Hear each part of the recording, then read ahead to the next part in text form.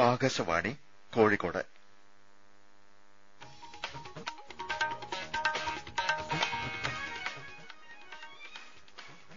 നമസ്കാരം. പ്രാദേശിക വാർത്തകൾ. വായിക്കുന്നത് അനിൽ ചന്ദ്രൻ. പ്രധാന വാർത്തകൾ. സംസ്ഥാനത്തെ ആരാധനാലയങ്ങളും ഷോപ്പിംഗ് മാളുകളും ഹോട്ടലുകളും ഇന്ന് തുറക്കും. അഞ്ച് ജില്ലകളിൽ കോവിഡ് സാമൂഹ്യ വ്യാപന സാധ്യത പരിശോധിക്കാൻ റാപ്പിഡ് ആന്റിബോഡി ടെസ്റ്റ് ഇന്നു സംസ്ഥാനത്ത് കോവിഡ് ചികിത്സയിൽ കഴിയുന്നവരുടെ എണ്ണം എയിംസ് പ്രവേശന പരീക്ഷ എഴുതുന്ന വിദ്യാർത്ഥികൾക്ക് അവരാവശ്യപ്പെട്ട കേന്ദ്രങ്ങളിൽ പരീക്ഷ എഴുതാൻ അനുവദിക്കണമെന്ന് മുഖ്യമന്ത്രി പിണറായി വിജയൻ. സംസ്ഥാനത്ത് ഇന്ന് അർദ്ധരാത്രി മുതൽ ട്രോളിംഗ് നിരോധനം. വാർത്തകൾ വിശദമായി. സംസ്ഥാനത്തെ ആരാധനാലയങ്ങളും ഷോപ്പിംഗ് മാളുകളും ഹോട്ടലുകളും ഇന്ന് തുറക്കും. കോവിഡ് പ്രതിരോധ നിയന്ത്രണങ്ങൾ കർശനമായി പാലിച്ചായിരിക്കും ഇവയുടെ പ്രവർത്തനം. ആരാധനാലയങ്ങളിൽ പ്രസാദമോ നിവേദ്യമോ വിതരണം ചെയ്യില്ല. അന്നദാനവും ഉണ്ടായിരിക്കില്ല. കേരളം ഒഴികെ സംസ്ഥാനങ്ങളിൽ ആരാധനാലയങ്ങളും ഹോട്ടലുകളും മാളുകളും ഇന്നലെ തുറന്നിരുന്നു. സംസ്ഥാനത്ത് ഇതിന് മുന്നോടിയായി ഇന്നലെ ശുചീകരണ പ്രവർത്തനങ്ങൾ നടന്നു. ആരാധനാലയങ്ങളും ഹോട്ടലുകളും ഉൾപ്പെടെ ജനത്തിരക്ക് ഉണ്ടായേക്കാവുന്ന ഇടങ്ങൾ അണുവിമുക്തമാക്കി. എൻഎസ്എസിന്റെയും സാമൂതിരി ട്രസ്റ്റിന്റെയും ക്ഷേത്ര സംരക്ഷണ സമിതിയുടെയും കീഴിലെ ക്ഷേത്രങ്ങളിൽ ഭക്തജനങ്ങളെ തൽക്കാലം പ്രവേശിപ്പിക്കേണ്ടതില്ലെന്നാണ് തീരുമാനം. എന്നാൽ ദേവസ്വം ബോർഡുകൾക്ക് കീഴിലെ ക്ഷേത്രങ്ങളും എസ്എൻഡിപി നിയന്ത്രിക്കുന്ന ക്ഷേത്രങ്ങളും തുറക്കും. തിരുവനന്തപുരം ശ്രീപത്മനാഭസ്വാമി ക്ഷേത്രത്തിൽ ഈ മാസം വരെ പ്രവേശനം ഉണ്ടാവില്ല. ഒട്ടേറെ മുസ്ലിം പള്ളികളും ഇന്ന് തുറക്കേണ്ടെന്ന് തീരുമാനിച്ചിട്ടുണ്ട്. പ്രാദേശിക സാഹചര്യം പരിഗണിച്ചും കോവിഡ് സാധ്യത വിലയിരുത്തിയും മാത്രം പള്ളികൾ തുറന്നാൽ മതിയെന്ന് വിവിധ സംഘടനകൾ തീരുമാനിച്ചു. ക്രൈസ്തവ ദേവാലയങ്ങളും ഓരോ സ്ഥലത്തെയും പ്രത്യേകതകൾ കണക്കിലെടുത്ത് തുറന്നാൽ മതിയെന്ന് വിവിധ സഭകൾ തീരുമാനിച്ചിട്ടുണ്ട്. കോഴിക്കോട് മലപ്പുറം കണ്ണൂർ ജില്ലകളിൽ റെസ്റ്റോറന്റുകൾ തുറക്കില്ല. എന്നാൽ പാഴ്സൽ സേവനങ്ങൾ തുടരുമെന്ന് ഉടമകൾ അറിയിച്ചു. വയനാട് കാസർകോട് ജില്ലകളിൽ ഏതാനും റെസ്റ്റോറന്റുകൾ തുറന്നേക്കും. എന്നാൽ താമസ സൌകര്യം നൽകുന്ന ഹോട്ടലുകൾ എല്ലാ ജില്ലകളിലും തുറക്കും. അഞ്ച് ജില്ലകളിൽ കോവിഡിന്റെ സാമൂഹ്യ വ്യാപന സാധ്യത പരിശോധിക്കുന്ന റാപ്പിഡ് ആന്റിബോഡി ടെസ്റ്റുകൾ ഇന്ന് ആരംഭിക്കും. കോഴിക്കോട് കാസർകോട് പാലക്കാട് ആലപ്പുഴ ഇടുക്കി ജില്ലകളിലാണ് ഇന്ന് പരിശോധന തുടങ്ങുന്നത്. ഇന്നലെ ഒൻപത് ജില്ലകളിൽ റാപ്പിഡ് ടെസ്റ്റ് ആരംഭിച്ചിരുന്നു. ആരോഗ്യ പ്രവർത്തകരുടെ സാമ്പിളുകളാണ് ആദ്യ ദിവസം ശേഖരിച്ചത്. രുമ സംസ്ഥാനത്ത് കോവിഡ് ചികിത്സയിൽ കഴിയുന്നവരുടെ എണ്ണം പേർക്ക് രോഗം മാറി. വിവിധ ജില്ലകളിലായി ഒരു ലക്ഷത്തി തൊണ്ണൂറ്റിയേഴായിരത്തി എഴുപത്തിയെട്ട് പേർ നിരീക്ഷണത്തിലാണ്. ഇന്നലെ മാത്രം പേരെ ആശുപത്രികളിൽ പ്രവേശിപ്പിച്ചു. ഇന്നലെ പേർക്കാണ് കോവിഡ് സ്ഥിരീകരിച്ചത്. ഇതിൽ പേർ വിദേശ രാജ്യങ്ങളിൽ നിന്ന് എത്തിയവരും പേർ മറ്റ് സംസ്ഥാനങ്ങളിൽ നിന്ന് വന്നവരുമാണ്. തൃശൂർ ജില്ലയിൽ ഇന്നലെ പേർക്ക് രോഗബാധ കണ്ടെത്തി. പുതുതായി ആറ് ഹോട്ട്സ്പോട്ടുകൾ കൂടി കണ്ടെത്തി. ഇതോടെ ഹോട്ട്സ്പോട്ടുകളുടെ എണ്ണം മലപ്പുറം ജില്ലയിൽ ഇന്നലെ കോവിഡ് സ്ഥിരീകരിച്ച പതിനാല് പേരും വിദേശത്ത് നിന്നും മറ്റ് സംസ്ഥാനങ്ങളിൽ നിന്നും എത്തിയവരാണ്. വിവരങ്ങളുമായി ആകാശവാണി പ്രതിനിധി എം സുരേഷ് ബാബു. കോവിഡ് പത്തൊൻപത് സ്ഥിരീകരിച്ച് ജില്ലയിൽ നൂറ്റി അറുപത്തിമൂന്ന് പേരാണ് മഞ്ചേരി ഗവൺമെന്റ് മെഡിക്കൽ കോളേജ് ആശുപത്രിയിൽ ചികിത്സയിലുള്ളത്. എണ്ണൂറ്റി മുപ്പത്തിയൊന്ന് പേർ കൂടി പ്രത്യേക നിരീക്ഷണം ഏർപ്പെടുത്തിയതായി ജില്ലാ കളക്ടർ കെ ഗോപാലകൃഷ്ണൻ അറിയിച്ചു. ഇതോടെ പ്രത്യേക നിരീക്ഷണത്തിൽ കഴിയുന്നവരുടെ എണ്ണം പന്ത്രണ്ടായിരത്തി എഴുന്നൂറ്റി അറുപത്തി ഒൻപതായി കോവിഡ് ഭേദമായി ഏഴ് പേർ മഞ്ചേരി മെഡിക്കൽ കോളേജ് ആശുപത്രിയിൽ നിന്നും വീടുകളിലേക്ക് മടങ്ങി. വിദേശത്തു നിന്നും ഇതര സംസ്ഥാനങ്ങളിൽ നിന്നും എത്തി കോവിഡ് സ്ഥിരീകരിച്ച ഇവർ പൂർണ ആരോഗ്യം വീണ്ടെടുത്താണ് ആശുപത്രി വിട്ടതെന്ന് ജില്ലാ medical officer doctor K Sakeena അറിയിച്ചു. കാസർകോട്ട് ഇന്നലെ എട്ട് പേരിൽ കൂടി കോവിഡ് സ്ഥിരീകരിച്ചു. ഏഴുപേർ കോവിഡ് നെഗറ്റീവായി. കാസർകോട് പ്രതിനിധി പി ജഗന്നിവാസൻ. കാസർകോട് ജില്ലയിൽ കോവിഡ് രോഗബാധ മൂലം ചികിത്സയിലുള്ളവരുടെ എണ്ണം നൂറ്റിയൊമ്പതായി. ഇന്നലെ പതിനൊന്ന് പേരെ കൂടി നിരീക്ഷണത്തിൽ പ്രവേശിപ്പിച്ചു. സമൂഹ വ്യാപന സാധ്യത അറിയുന്നതിന് ആന്റിബോഡി പരിശോധന ടെസ്റ്റ് ഇന്നു മുതൽ ജില്ലയിൽ ആരംഭിക്കുമെന്ന് ജില്ലാ medical officer doctor A V Ramdas അറിയിച്ചു. കോവിഡ് നിയന്ത്രണങ്ങൾ നിലനിൽക്കുന്ന സാഹചര്യത്തിൽ എയിംസ് പ്രവേശന പരീക്ഷ എഴുതുന്ന വിദ്യാർത്ഥികൾക്ക് അവരാവശ്യപ്പെട്ട കേന്ദ്രങ്ങളിൽ പരീക്ഷ എഴുതാൻ അനുമതി നൽകണമെന്ന് മുഖ്യമന്ത്രി പിണറായി വിജയൻ കേന്ദ്രത്തോട് ആവശ്യപ്പെട്ടു. മറ്റന്നാളാണ് പരീക്ഷ.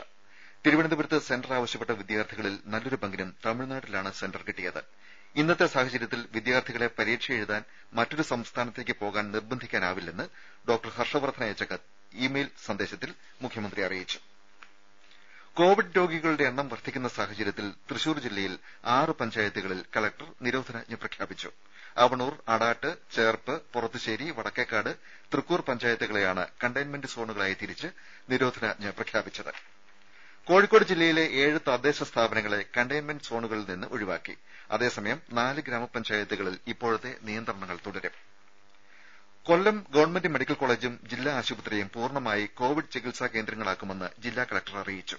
ഇവിടങ്ങളിലെ മറ്റ് രോഗികളെ താലൂക്ക് ആശുപത്രികളിലേക്ക് മാറ്റും. അഞ്ഞൂറ് കോവിഡ് രോഗികളെ ചികിത്സിക്കാൻ രണ്ട് ആശുപത്രികളിലുമായി സംവിധാനമൊരുക്കും. രാജ്യത്ത് കോവിഡ് ചികിത്സയിൽ കഴിയുന്നവരുടെ എണ്ണവും രോഗം ഭേദമായവരുടെ എണ്ണവും ഏറെക്കുറെ ഒപ്പത്തിനൊപ്പമായി. ഒരു ലക്ഷത്തി ഇരുപത്തിനാലായിരത്തി തൊള്ളായിരത്തി എൺപത്തിയൊന്ന് പേരാണ് ഇപ്പോൾ ചികിത്സയിൽ.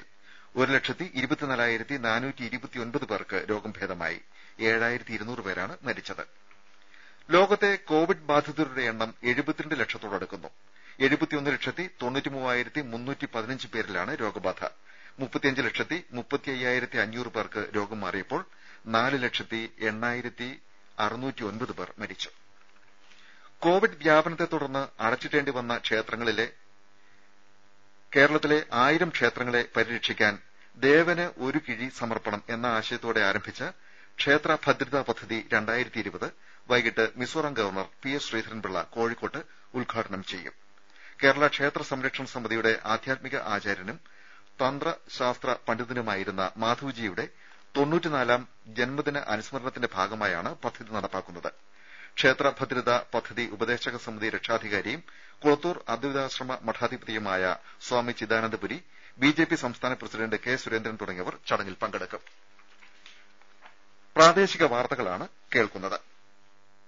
കൊറോണ ആശങ്കയല്ല ജാഗ്രതയാണ് വേണ്ടത്. കേന്ദ്ര ആരോഗ്യ മന്ത്രാലയം പുറപ്പെടുവിക്കുന്ന നിർദ്ദേശങ്ങൾ. ജനങ്ങൾ കൂട്ടം കൂടുന്നത് ഒഴിവാക്കുക. പനിയോ ചുമയോ ഉള്ളവർ മറ്റുള്ളവരുമായി ഇടപഴകാതിരിക്കുക. ഇടയ്ക്കിടെ കൈകൾ സോപ്പും വെള്ളവും ഉപയോഗിച്ചോ സാനിറ്റൈസർ ഉപയോഗിച്ചോ വൃത്തിയാക്കുക. കൈകൾ കൊണ്ട് ഇടയ്ക്കിടെ മുഖത്ത് സ്പർശിക്കുന്നത് ഒഴിവാക്കുക. പൊതുസ്ഥലങ്ങളിൽ തുപ്പരുത്. പനിയോ ചുമയോ ശ്വാസ തടസ്സമോ തുടരുന്ന സാഹചര്യത്തിൽ വൈദ്യസഹായം തേടുക. കൊറോണയെ സംബന്ധിച്ച വിവരങ്ങൾക്ക് ആരോഗ്യ മന്ത്രാലയത്തിന്റെ ഒന്ന് പൂജ്യം ഏഴ് അഞ്ചിലും ദിശയുടെ ഒന്ന് പൂജ്യം അഞ്ച് ആറിലും ആരോഗ്യവകുപ്പിന്റെ പൂജ്യം നാല് ഏഴ് ഒന്ന് രണ്ട് മൂന്ന് പൂജ്യം ഒൻപത് രണ്ട് അഞ്ച് പൂജ്യം എന്ന നമ്പരിലും ബന്ധപ്പെടാം. സംസ്ഥാനത്ത് ഇന്ന് അർദ്ധരാത്രി മുതൽ ട്രോളിംഗ് നിരോധനം. ജൂലൈ വരെ അൻപത്തിരണ്ട് ദിവസമാണ് വർഷകാല ട്രോളിംഗ് നിരോധനം ഏർപ്പെടുത്തുന്നത്. വിശദാംശങ്ങൾ നൽകുന്നത് ആകാശവാണി കൊല്ലം പ്രതിനിധി നീരജ് ലാൽ.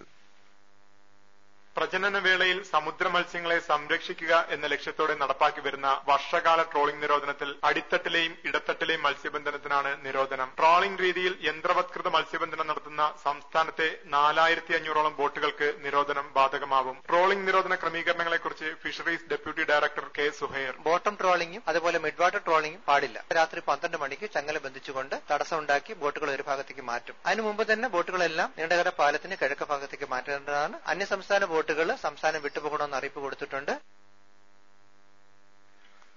സംസ്ഥാനത്തെ ട്രോളിംഗ് നിരോധനവുമായി മീൻപിടുത്ത തൊഴിലാളികളും ട്രേഡ് യൂണിയൻ സന്നദ്ധ സംഘടനകളും സഹകരിക്കണമെന്ന് മന്ത്രി ജെ മേഴ്സിക്കുട്ടിയമ്മ അഭ്യർത്ഥിച്ചു. ട്രോളിംഗ് നിരോധന കാലയളവിലെ സമാശ്വാസ സഹായധന വിഹിതം സമയബന്ധിതമായി നൽകാൻ നടപടി തുടങ്ങിയതായും മന്ത്രി അറിയിച്ചു. വന്ദേഭാരത് മൂന്നാം ഘട്ടത്തിന്റെ ഭാഗമായി പ്രവാസികളുമായി കൂടുതൽ വിമാനങ്ങൾ ഇന്നുമുതൽ നെടുമ്പാശ്ശേരിയിലെത്തും. ഈ മാസം വരെ എയർ ഇന്ത്യ എക്സ്പ്രസ് പതിനഞ്ച് വിമാന സർവീസുകൾ ഗൾഫിൽ നിന്ന് മാത്രം നടത്തും. ഇതിന് പുറമെ സിഡ്നി വിയറ്റ്നാം സർവീസുകളും ഉണ്ടായിരിക്കും. നാളെ മുതൽ ഈ മാസം വരെ ചാർട്ടർ വിമാനങ്ങളും കൊച്ചിയിലെത്തും. ഗൾഫ് രാജ്യങ്ങൾക്ക് പുറമെ അൾജീരിയ ഘാന തജിക്കിസ്ഥാൻ എന്നിവിടങ്ങളിൽ നിന്നും ചാർട്ടേഡ് സർവീസുകൾ ഉണ്ടായിരിക്കും. ഇന്നലെ ദോഹയിൽ നിന്ന് രണ്ട് വിമാനങ്ങളിലായി പേർ കൊച്ചിയിലെത്തി കണ്ണൂർ രാജ്യാന്തര വിമാനത്താവളത്തിൽ ഈ മാസം വരെ ഗൾഫ് രാജ്യങ്ങളിൽ നിന്ന് പ്രവാസികളെ കൊണ്ടുവരും. Doha Dammam Riyadh Muscat Dubai എന്നിവിടങ്ങളിൽ നിന്ന് ഏഴ് വിമാനങ്ങളെത്തും. ഇന്ന് ദോഹയിൽ നിന്ന് രാത്രി എയർ ഇന്ത്യ എക്സ്പ്രസ് വിമാനം കണ്ണൂരിലെത്തും. ഗവൺമെന്റ് വകുപ്പുകളുടെ പ്രവർത്തനങ്ങൾ ഒരു കുടക്കീഴിൽ കൊണ്ടുവരാൻ സഹായിക്കുന്ന integrated command control communication centre കൊച്ചിയിൽ മുഖ്യമന്ത്രി പിണറായി വിജയൻ ഓൺലൈനിലൂടെ ഉദ്ഘാടനം ചെയ്തു.